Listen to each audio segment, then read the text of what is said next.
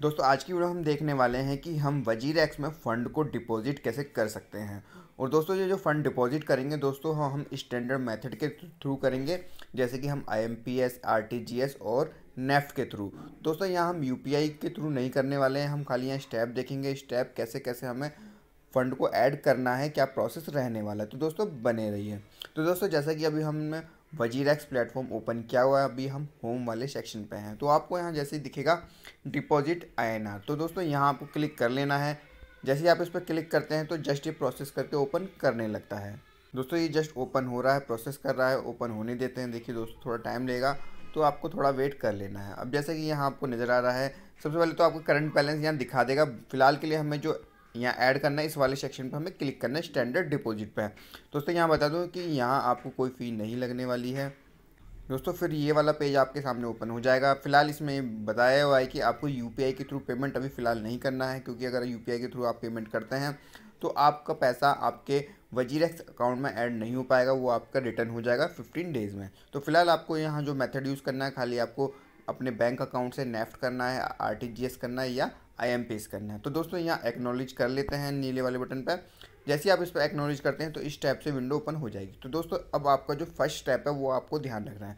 First step दोस्तों, क्या करना है कि आपको अपने रजिस्टर्ड बैंक अकाउंट से यहाँ जो अकाउंट दिया हुआ है, सबसे पहले फ़ंड को उसमें ट्रांसफ़र करना है। तो दोस्तों, सबसे पहले आपको वेरीफाई कर लेना है कि आपका वज़ीर एक्स में जो रजिस्टर्ड बैंक अकाउंट है, वो ऐड है या नहीं। तो हम क्या करेंगे, हम दोस्तों नीचे की तरफ़ आएँगे, फ़िलहाल आपको वहाँ दिख जाएगा। तो दोस्तों, मैं नीचे की तरफ़ स्क्रॉल करता हूँ। तो दोस्तों, सबसे पहले तो अगर आपका रजिस्टर्ड बैंक अकाउंट है तो वो यहाँ आपका दिख जाएगा। ठीक है? लिख रहा है ना ट्रांसफ़र फ्रॉम बैंक अकाउंट तो यहाँ सबसे पहले आपको कंसीडर कर लेना है कि आपका यहाँ बैंक अकाउंट ऐड है।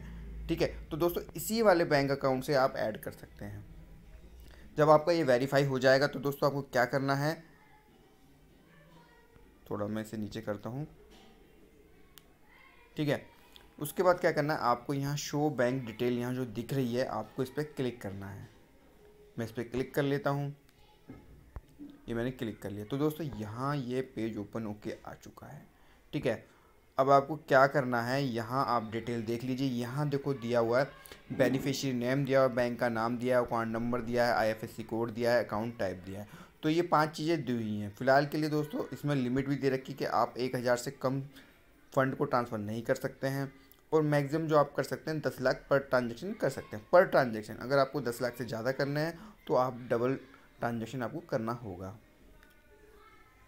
ठीक है अब दोस्तों, जो आपका रजिस्टर्ड बैंक अकाउंट है वज़ीर एक्स से, उसमें से आपको इस वाले अकाउंट में ट्रांसफ़र कर लेना है। जो भी डिटेल चाहिए होती है, वो उन्होंने यहाँ दे दी गई हैं। क्योंकि अगर आई करते हैं तो आपको यहाँ अकाउंट नंबर डालना है आईएफएससी कोड डालना है, और आपको फ़ंड को ट्रांसफ़र कर देना है। ऐसे ही नेफ्ट में भी इन्हीं चीज़ों की डिटेल ज़रूरत होती है तो आप यहाँ से फ़ंड को ट्रांसफ़र कर सकते हैं। अगर आपके पास नेट बैंकिंग है तो आप नेट बैंकिंग के थ्रू ईजिली यहाँ से ट्रांसफ़र कर पाएँगे। आपको यहाँ ऐड कर लेना है नेफ्ट के लिए। बेनिफिशियरी में ऐड कर लेना, उसके बाद आप ट्रांसफ़र कर सकते हैं। ऐसे ही आईएमपीएस में आप डायरेक्ट भी फ़ंड को ट्रांसफ़र कर सकते हैं। तो दोस्तों, जब भी हम फ़ंड को ट्रांसफ़र करते हैं तो एक रेफरेंस नंबर जनरेट होता है। आपको वो रेफरेंस नंबर नोट कर लेना है, दूसरा आपको डेट नोट कर लेनी है।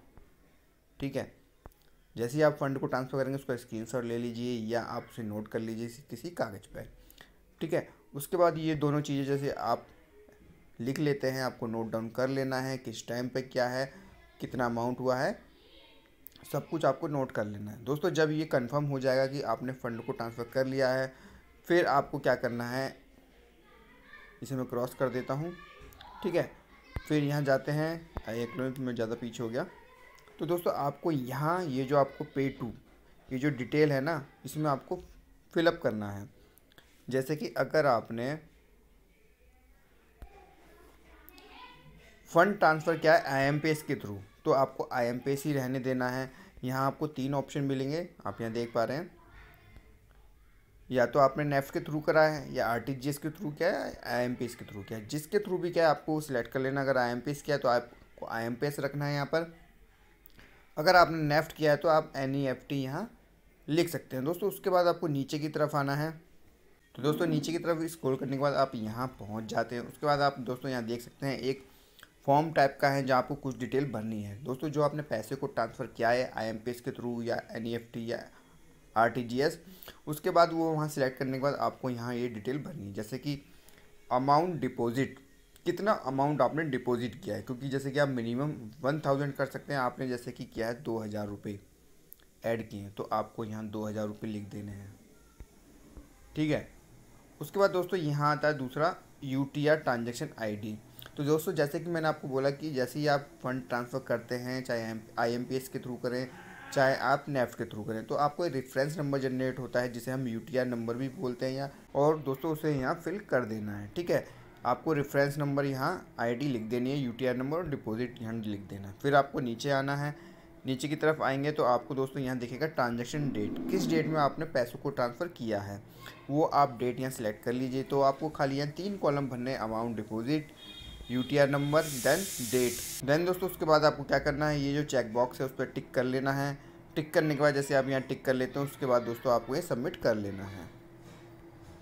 तो दोस्तों, जैसे ही आप यहाँ सबमिट कर देते हैं तो दोस्तों यहाँ ये सबमिट हो जाती है डिटेल फिर दोस्तों, वज़ीर एक्स इसे वेरीफाई करता है और वेरीफाई होने के बाद जो अमाउंट है, वो आपके करंट बैलेंस में दोस्तों यहाँ शो होने लगता है।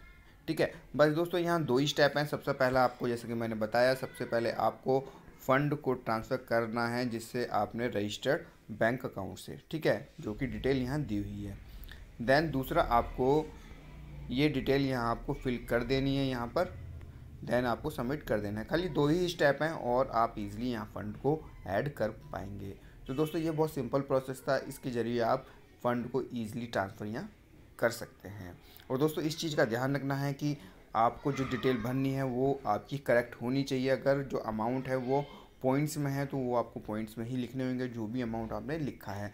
अदरवाइज़ दोस्तों, यहाँ वेरीफाई नहीं हो पाएगा और आपकी रिक्वेस्ट यहाँ कैंसिल भी हो सकती है। तो इस चीज़ का ध्यान रखिए, date, transaction ID and account deposit, वो सॉरी, अमाउंट डिपॉजिट बिल्कुल सेम यहाँ होना चाहिए। इस चीज़ का बिल्कुल ध्यान रखिए। तो दोस्तों, इस तरीके से आप सिंपली फंड को ऐड कर सकते हैं। आई होप दोस्तों आपको वीडियो अच्छी लगी और आपको काम आई हो। दोस्तों, अगर वीडियो अच्छी लगी हो तो इसे लाइक करना ना भूलें। अगर चैनल पर पहली बार आएँ तो आप इसे सब्सक्राइब कर सकते हैं। आज की वीडियो में इतना ही। धन्यवाद।